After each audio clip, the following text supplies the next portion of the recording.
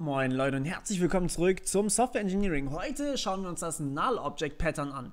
Das Null Object Pattern ist dazu da, um weniger Abstürze im Code hervorzurufen. Das heißt, wir haben in unserem Fall jetzt hier zum Beispiel einfach mal ein Parent und ein Child Objekt, also ein Real Child Objekt und als alternative Unterklasse ein Null Object.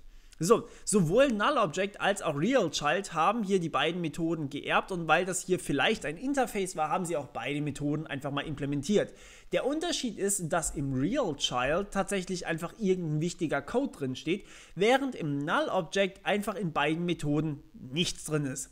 Und das macht insofern Sinn, als dass man vielleicht irgendwas zurückgeben muss vom Typ Parent, aber man hat einfach einen Fehler zum Beispiel erwartet. Das heißt, es wurde irgendein Fehler geworfen und oder man hat einfach auch keine sinnvolle, keine sinnvolle Antwort auf diese Frage hier. Und man weiß nicht genau, was jetzt hier eigentlich ausgeführt werden soll in Ob 1 und Ob 2. Und alle Unterklassen von Parent funktionieren einfach in dem Fall nicht. Also ihr könnt ja 100 verschiedene Kinder haben. Zum Beispiel, wenn jetzt ein Fehler geworfen wird, dann müsst ihr irgendwas zurückgeben. So, und was viele Programmierer hier machen, ist, sie geben einfach null zurück. Null ist aber ziemlich fehleranfällig, denn wenn ich jetzt sagen wir mal aus einer Methode null zurückbekomme und ich führe auf diesem Null-Objekt ob 1 aus, was ich vielleicht einfach nicht abfragen möchte. Ich möchte vielleicht nicht immer abfragen müssen, if Object ungleich Null oder if äh, Return Object halt ungleich Null, dann führe Operation 1 aus, sondern ich möchte vielleicht einfach sagen können, ob 1.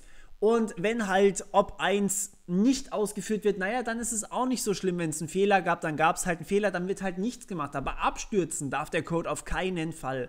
Und deswegen hat man sich gedacht, okay, machen wir doch ein Null-Object. Da sind zwar beide Methoden da, das heißt, man kann sie aufrufen, man kann auch alles mit den Methoden oder mit diesem Objekt machen, ohne dass das Programm abstürzt, aber es passiert halt einfach nichts, weil diese Operation hier einfach leerer Code ist. Das heißt, es ist einfach nichts drin. Und ja, deswegen gibt es das Null-Object. Das ist sozusagen einfach da, damit man mehr Codesicherheit hat, sprich, dass das Programm nicht einfach so zur Laufzeit einfach so abstürzt, weil es halt einen Fehler gegeben hat, sondern es läuft weiter. Nur irgendwelche Operationen funktionieren dann halt einfach nicht besser als ein Absturz. Absturz. Okay.